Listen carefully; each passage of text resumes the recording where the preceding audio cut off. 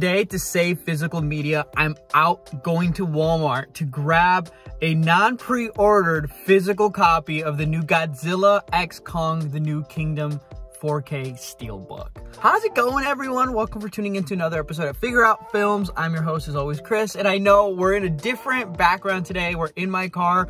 It's 5.30 a.m. in the morning because we are getting a new 4K release because I did not pre-order it and I really want it. Um, I, I didn't know about this release coming out until I looked it up because I was bored.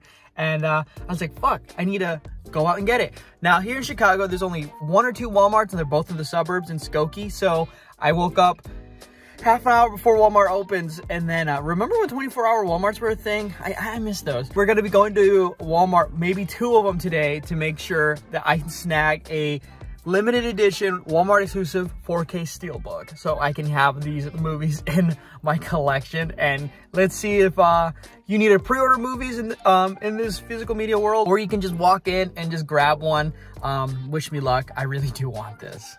All right, we're here at Walmart. We're early. I'm gonna see if I can get the door open because I know it says it opens at, you know, six, but I see people going in and I don't know if they work there or not. Um, it's, it's wild. There's actually, um, quite a few scalpers here. Uh, and that really bothers me. And I'm really hoping I can beat them out to grab this thing. Uh, because I don't know, like, with these limited editions because Best Buy, when they had limited editions, you had a fighting chance of going in sh shop to grab one. Walmart, I'm not so sure. I really don't like getting my physical media from Walmart, but they've somehow finagled a stranglehold around the throats of physical media collectors, especially with these Lionsgate steel books and things like that. And also, it's just become a scalper market, scalpers coming in and, and, and getting them, or maybe they just don't carry unless it's for a pre-order demand. That could be another thing. So that might teach me my lesson. So I'm gonna go in hoping that I can snag one right at open. If not, I gotta get back in this car and go down this block, uh, a couple miles down um, to the other Walmart there and see if I can grab it. Um, but like I said, I do see some people out in the parking lot. I'm gonna assume they might be some sort of scalpers as well. You know, the uh, mo more motivated unemployed people. Why can't you just be unemployed like me?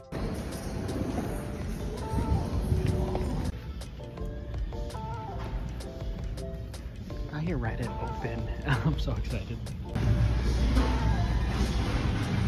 Bro, they're all out. How? I guess because I didn't pre-order it. It's not here.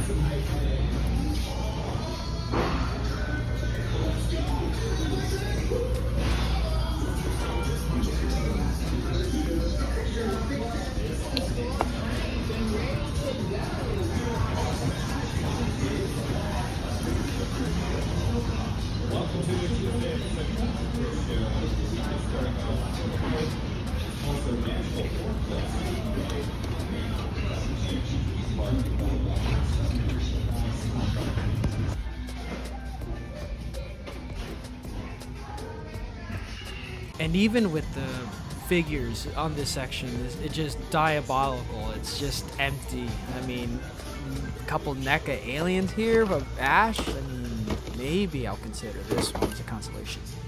Okay, I'm at the other Walmart because eh, they didn't have it at the previous one. The street dates seem to be confused. I think they put them out early in the other one. I'm hoping that's not the case here. Or they have more copies in this Walmart. So let's go ahead and, and hopefully find one. Oh, brother, no.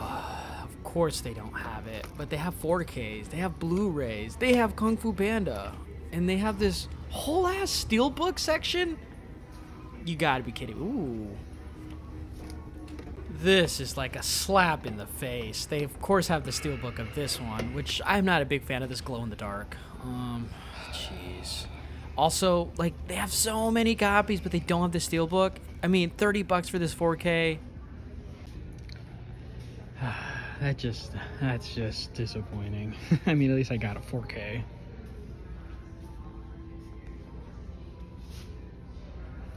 This is so sad. I mean, it, they have two things of DVDs and two of Blu-ray, one of 4K. I mean, I get it, but sad. And at that price, nah. And after that disappointment, this is honestly the best deal in Walmart right now. I just I just had to check my phone to see like where could you buy this? Like, if it's not in any of the stores, one didn't even have a SKU for it.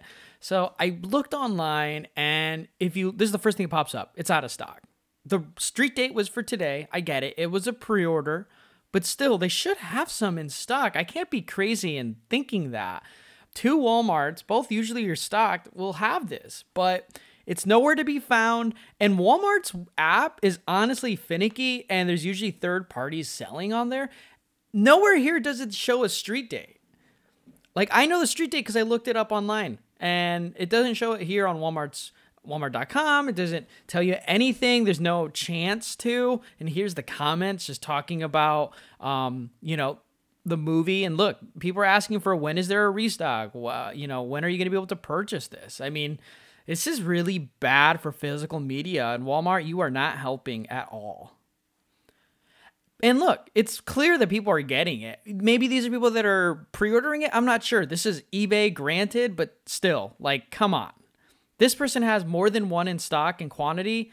Um, this is this is insane. Like this is worse than vinegar syndrome with its, you know, quantity number, and people just buying it before the quantity goes down to zero. I mean, where are these people getting these? That's what I want to know. Did they fall off a truck? Because look, these prices are insane and we'll have to pay these if you want this, unless you find it in the secondhand market. Like, how is this this hard to do, guys? Come on. So we ended up not getting Kong X Godzilla, the, New Kingdom on 4K. Uh, the steelbooks, as you saw, are out of stock. Um, a lot of people were wondering when it even came up for pre-order, and the fact that there were QR codes at Walmart and none in stock is very telling. Walmart does not update its, its stock, its supply. It seems like it's a pre-order market, which is very frustrating when it's a Walmart exclusive. And that's one of my biggest complaints with physical media is that that is the new norm. If you want something, you need to pre-order it and you better hope that nobody has bots or nobody buys out all the pre-orders. Um, especially with something like Walmart. Walmart is so finicky with its with its app. It's not like pre-ordering through a boutique label, um, which is very frustrating when it's an exclusive for that.